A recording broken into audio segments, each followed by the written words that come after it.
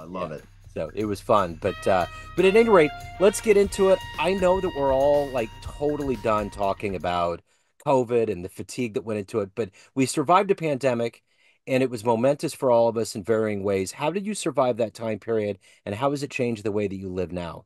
That's a great question. So I had a very unusual experience during the pandemic in that I was at a cabin, which is about an hour and a half north of Seattle, doing some research, and it's a cabin owned by a friend. And I spent the first two months of the pandemic in a multi-million dollar cabin on a lake. I say that because it was so unusual because all of my friends were locked in apartments and houses and you know couldn't leave and didn't couldn't do the things they wanted to do. I was also locked in my place, right? Couldn't leave and do the things I wanted to do but my place was on a lake. So I spent the first two months of the pandemic just paddleboarding on a lake every day. It was it was idyllic and amazing. But then when I came back into reality, I thought, wow, it's time to make a major pivot here because of course all of my events had canceled for the year. I had so many things scheduled and so many things ready, but I had to pivot into this virtual studio that I created, right? Like everybody else. But it was interesting because some people were able to pivot easily and say, oh, I just shift slightly what my approach is. I had to change the whole game because I had no live audiences anymore and I make my living speaking. So it was really unusual. But what I did throughout the rest of the time that we were in the pandemic was really think about what I wanted to be speaking about, what I wanted to be writing about or doing. So that's what led me to where I am today. So let's get to the heart and soul of what you do on a daily basis here in 2024. I'm going to put you in front of a bunch of grade schoolers, third graders. It's career day, and one of the kids is like, "Hey, what do you do for a living?" I How speak I speak to audiences, I make people laugh, I engage them, and I talk about focus and how when we have focus, it creates space to get things done and do other things we want to do in our lives. Basically, what I do is I tell people about ways to eliminate distractions. And when we eliminate distractions, when we focus on things that are important to us, it opens up more space for creativity, more space for possibility. Wow. So, what did you want to be in the third grade? What was your dream?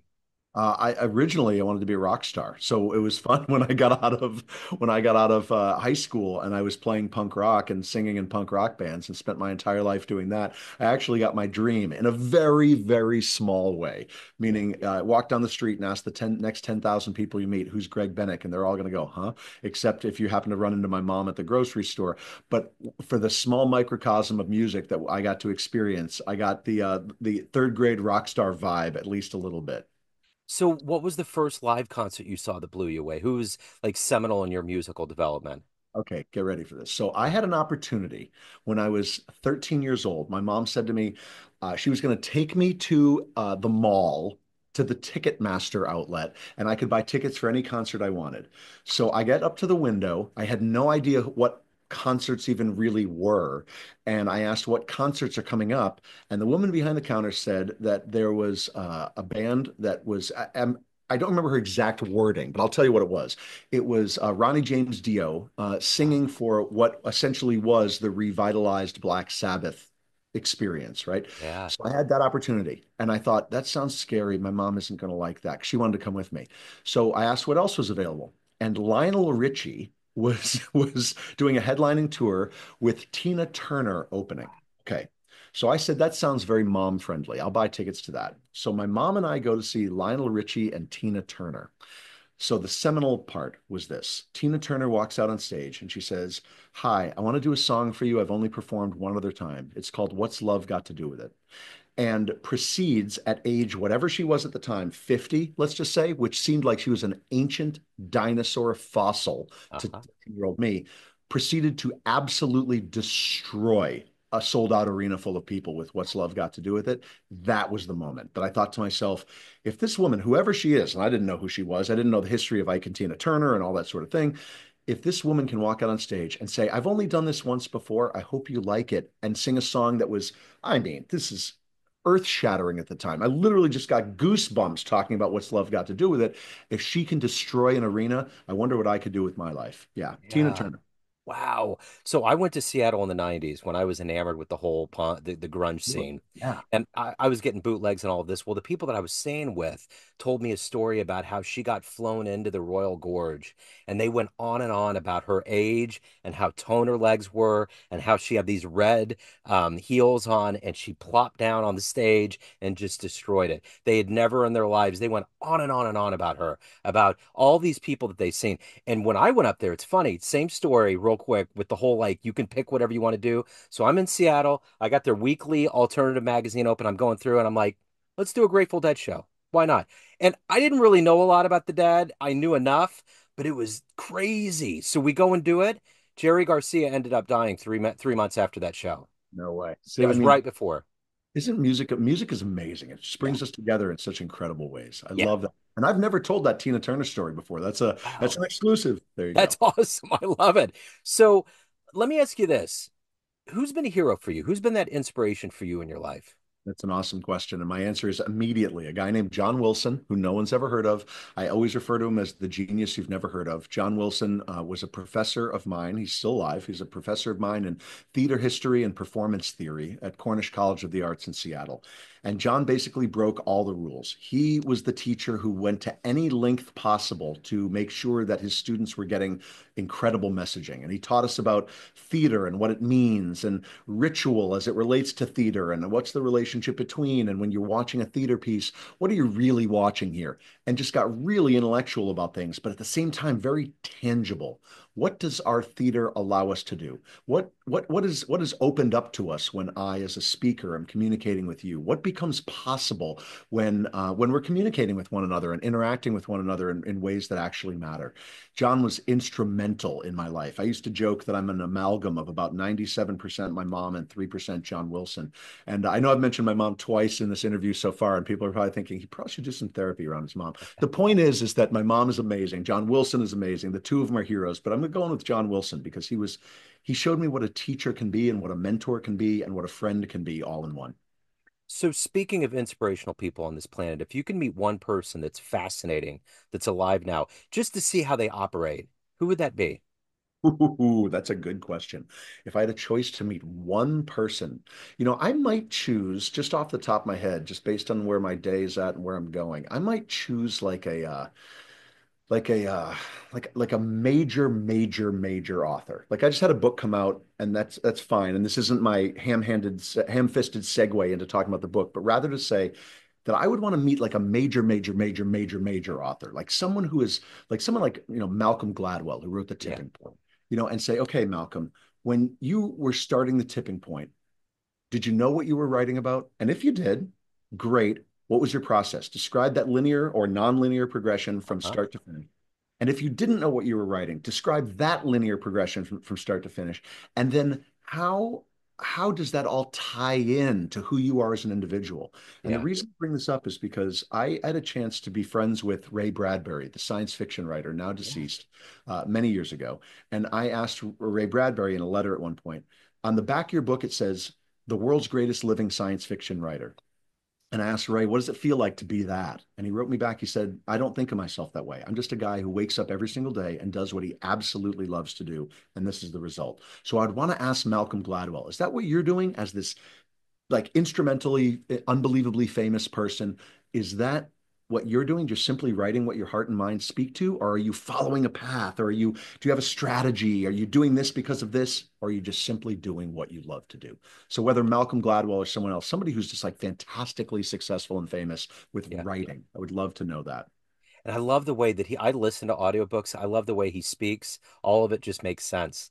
His, his his insight. So I went about two or three, well, it's been about three weeks now. I went to the Stanley in Estes Park and I've had Stephen King on the brain.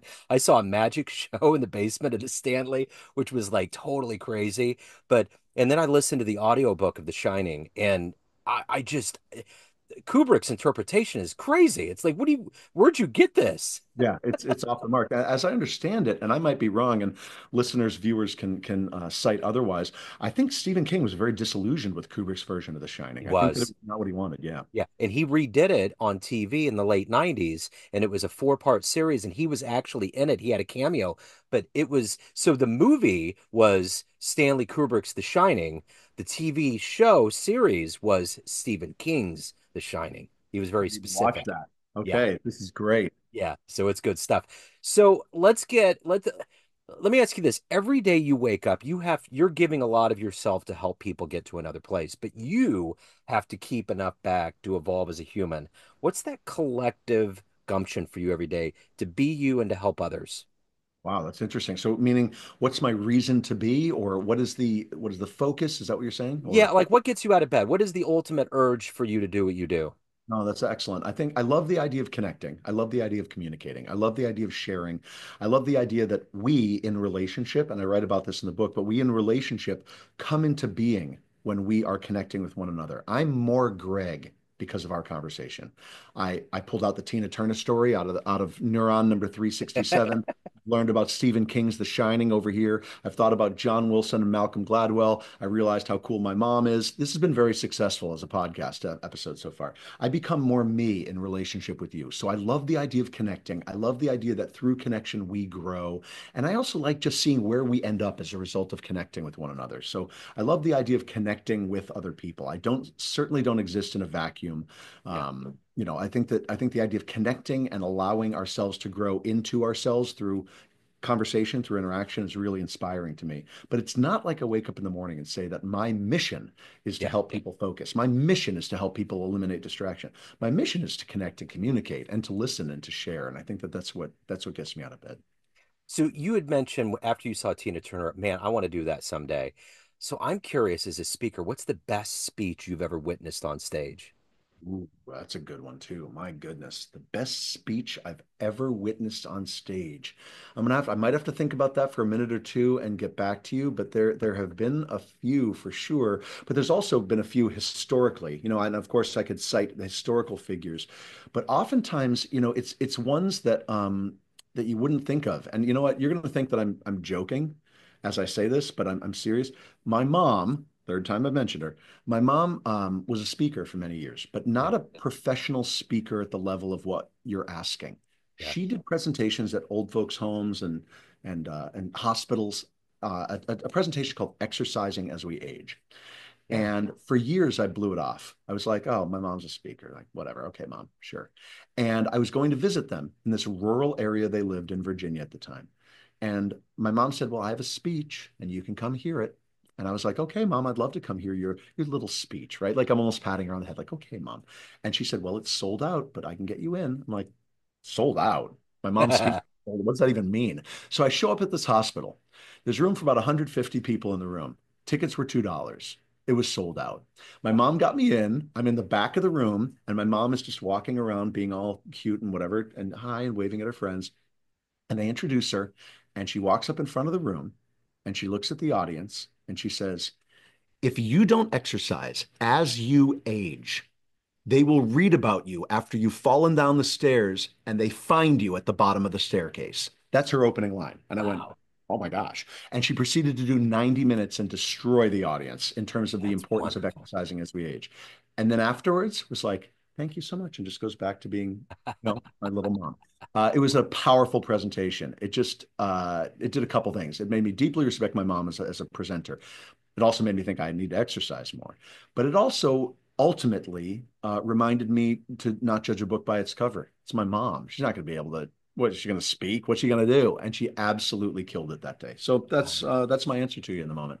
That's great. You know, I caught Bill Clinton at the Harry S. Truman Library here, and the particles changed. It was almost like, you know, when the Speaker of the House comes in and they open the doors, the chamber, they did that to him.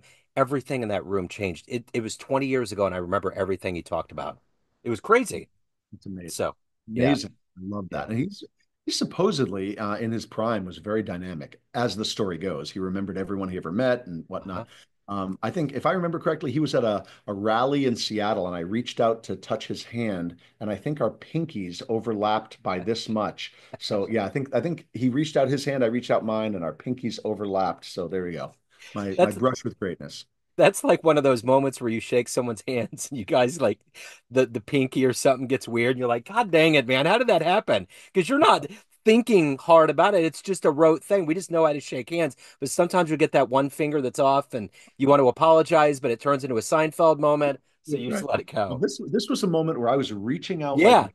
and he was reaching out the other way and our pinkies went like that. That's as close as I got. So there we go. And You you know what? I bet I bet Bill's somewhere telling that story right now. I was in Seattle and I my pinkies touched with this with this guy and all of a sudden I wanted to build a better now. Anyway, And and and with Bill, it would be I made a pinky promise to this guy in Seattle. I've got to get back to Seattle to fulfill my pinky swear with this That's guy. it. That's it. So I'm curious, what's the best advice you've ever gotten in your life? Ooh, that's a great piece. Um,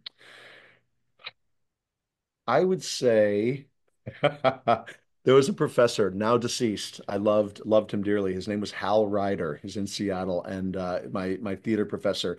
We had end of the year um, uh, at at the acting school I went to. End of the year, what do you call it? Debriefs, I guess, with our with our professors, one on one. I'm sitting in my debrief with Hal Ryder at the end of my first year at, at college, and Hal's asking me how the year is going, and I'm like, it, it was great. I did this, I did this, I did this, I did this, I did this, and he said he had this affect to his voice. Greg, I want you to really focus. I want you to use less words. And I said, okay, Hal, I can absolutely do that. Absolutely, no, no problem. He goes, start now. So that that piece of advice, start now from Hal Ryder, made me go, oh wow, I'm so blissfully unaware of myself, of what I'm doing, of what I'm saying, of what I'm thinking, that this man just said to me, use less words, focus. And I just kept going like a freight train. Yeah. Start now. It just put me right where, right in the moment and made me remember constantly, every time I think about that, start now and just listen, be present. So let's say tonight you have a dream and you get injected into some David Lynch scene in a movie, and you can be your voice in the earphones of that version of you that's on that bus with your punk band. And you can give that version of you a piece of advice based on this life you've led, the wisdom you've gained along the way. What advice would you pipe through those ears into that young version of you? I would say take no shit and be awesome. That is the advice. Take no shit and be awesome. Just continually be awesome. Do the things that you want to do and let nothing stand in your way. However, be respectful along the way as well. Like the idea of take no shit and be awesome, the idea of do not step on people's toes to get what you want. Do not run people over, push them out of the way, break them, hurt them, destroy them, but rather just be awesome in the in the world. Go do awesome things. Continue to push forward and be absolutely driving forward at all times and do amazing things and just be be relentless with how awesome you're being. Well said. So, of all of the things that you've done and accomplished in your life, what are you the proudest of? I I would say, um, out of all of them, if I had to pick one thing, you know, I think years ago I uh, I sang on a uh, on a punk record uh, called "Are These Our Lives," which was uh, the, my band Trial was uh, put it out, and I'm I'm I'm happy with it, not because of how it did, not because of fans, friends, followers, that sort of thing. I'm happiest with it because when I started writing the record and I looked at a blank sheet of paper with the lyrics on it, I thought there's no way that I'm going to be able to write the lyrics to this record. It's just too much. And now the record's been out for 20 years and people still write me about the record and how important the lyrics are to them. Yeah. It wasn't the friends, fans, followers. It was the personal achievement of of completing it. Kind of like, again, not a ham-fisted way of talking about the book. When I started writing the book, I remember looking at a blank cursor on the screen and thinking to myself, there's no way. And then I thought back to writing the lyrics to the record and now the book's out. Well, that's fine. It's the process from I can't possibly do this to completing it. Anytime that's come up in the course of my life, those are the powerful moments. So, if you could get into a time machine and go back in time and see one concert anywhere, where are you going? Ronnie James Dio, 100%. It would be Ronnie James Dio, 1985, um, the, the rock festival they played in Tokyo. Um, an entire audience of people waited all day long for Dio to play. They waited into the night for Dio to play. Dio is headlining. He comes on stage. It's after midnight. He's got Vivian Campbell on guitar. Vivian Campbell at the time is maybe 22, 23 years old. Goosebumps over my whole body, by the way, talking about right now. Uh, Vinny Appice on drums. This is quintessential prime Dio in the prime of his career comes out on stage. The video is available on YouTube. Absolutely just like perfection. I mean, if you, I, have watched the video with my friends and we found maybe one or two notes that were like slightly misplayed on the bass. The rest of it, I mean, 99.9999% perfection of an artist at the height. Wow. That's such a great answer. So at the end of the day, everyone has a perception of you family, friends, all of your readers, everyone that knows you, clients, but you run the show. What's your perception of you? Who do you think you are? my perception of me is uh, as as sure a communicator and sure as a writer and sure as a performer and speaker and entertainer and voiceover and all the other things that I do. But at the end of the day, I'm a guy just trying to get through his life in the most honest, sincere, best way possible by supporting other people, by supporting myself, and by trying to bring compassion into the world, kindness uh, as much as possible. And that doesn't place me as Mother Teresa. It places me as a person who exists in a world that's filled with cruelty and problems at every single side, trying to get through it in, in a way that brings more of the opposite of that as possible into people's lives and in my own.